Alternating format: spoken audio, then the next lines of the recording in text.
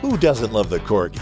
The smallest member of the AKC's herding group, this friendly and jovial spark plug is a true joy as a member of any family.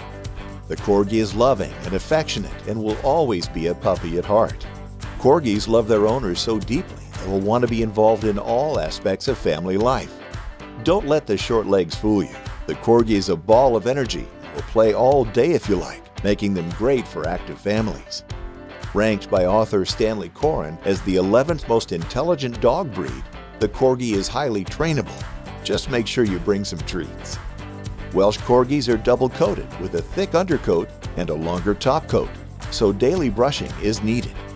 An average Corgi stands 12 inches at the shoulder and weighs between 20 and 30 pounds. Thanks for learning about the Pembroke Welsh Corgi.